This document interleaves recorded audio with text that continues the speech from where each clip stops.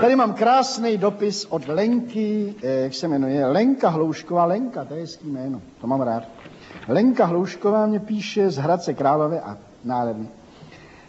Posledně jsem si vás udělala z modelíny.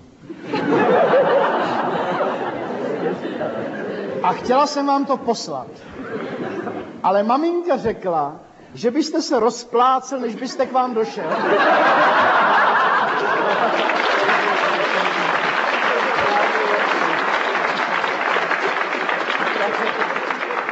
Tak jsem si vás dala na stolek k posteli. Asi za dva dny jste nechtěl držet.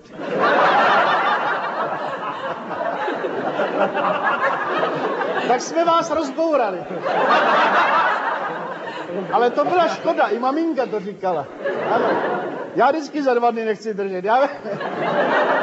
tak dva dny vydržím, ale vždycky třetí den už... Pane Horníčku,